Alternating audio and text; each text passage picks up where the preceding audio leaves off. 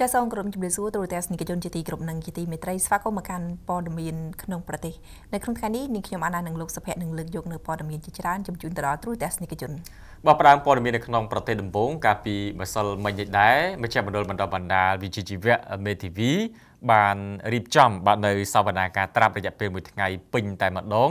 លើសំណុំរឿងព្រមត្តននិងរដ្ឋបវេណីដលៃពីគ្នានៅគណៈមេធាវីនៃព្រះរាជាណាចក្រកម្ពុជា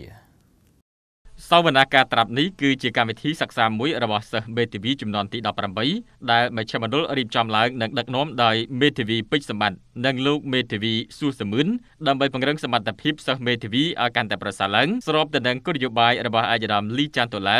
ប្រធានគណៈមេធាវីនៃព្រះរាជាណាចក្រកម្ពុជាបានលើកឡើងថាយើងរួមគ្នាដើម្បីឲ្យដំណភាពនិងកច្ឆានុភាពនៃវិជ្ជាជីវៈមេធាវី សវនកម្មត្រាប់លើសំណុំរឿងព្រមត្តនធ្វើឡើងនៅព្រឹកដោយលើកយកអំពីអង្គហេតុជាក់ស្ដែងពាក់ព័ន្ធទៅនឹងបទចោទហិង្សាដោយចេតនា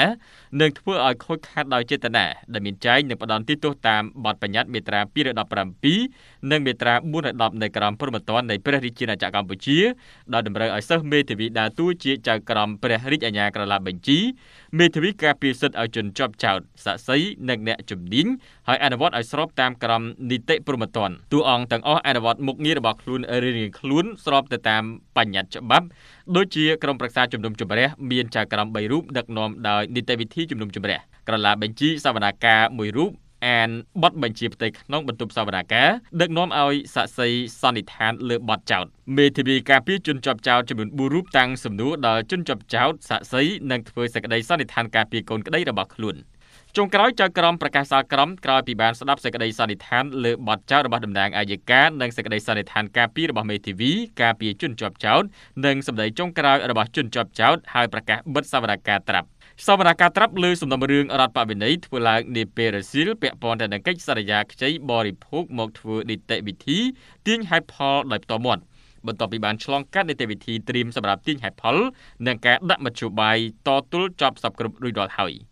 សវនកម្មត្រាប់នេះដឹកនាំនីតិវិធីដោយចៅក្រមជំនុំជម្រះមួយរូបអមដោយក្រឡាបញ្ជីសវនកម្មមួយរូបដែលដឹកនាំឲ្យសាក់សីស្បត់អានបទបញ្ជាផ្ទៃក្នុងនិងកត់កំណត់ហេតុសវនកម្មនិងចូលរួមដើមចោតមួយរូបដែលមានមេធាវីតំណាងដោយអាណត្តិឲ្យខ្លួនចំនួន2រូបព្រមទាំងចុងចម្លើយមួយរូបដែលមានមេធាវីតំណាងដោយអាណត្តិចំនួន2រូបផងដែរ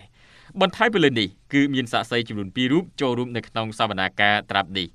នៅក្នុងនីតិវិធីទាញហេតុផលដោយផ្ទាល់មាត់នៅក្នុងសវនាការត្រាប់នេះបន្ទាប់ពីស្ដាប់នៅរាល់ការសួរដេញដោលនិងសេចក្តីសន្និដ្ឋានរបស់គូភាគីចប់សពគ្រប់ហើយចៅក្រមប្រកាសសាលក្រមបន្ទាប់ពីមេធាវីតំណាងដោយអាណត្តិរបស់ដើមចោតនិងចុងចម្លើយធ្វើសេចក្តីថ្លែងការណ៍ទីមទានិងសំណុំពរហើយប្រកាសបិទសវនាការត្រាប់ បន្ទាប់ពីចប់សវនាការត្រាប់ហើយអាយដាមលីចាន់ដុល្លារប្រធានគណៈមេធាវីនៃព្រះរាជាណាចក្រកម្ពុជាបានកោតសរសើរដល់សិស្សមេធាវីចំនួនទី18ទាំងអស់ដែលបានខិតខំប្រឹងប្រែងរៀនសូត្រនិងអនុវត្តជាក់ស្ដែងដោយនៅក្នុងសវនាការពិតពិតអាយដាមក៏បានផ្ដល់ជាយោបល់បន្ថែមមួយចំនួនទៀតលើចំណុចខ្វះខាតដើម្បីឲ្យសិស្សមេធាវីយកទៅអនុវត្តនៅពេលដែលចេញទៅប្រកបវិជ្ជាជីវៈមេធាវីរបស់ខ្លួននៅពេលខាងមុខ។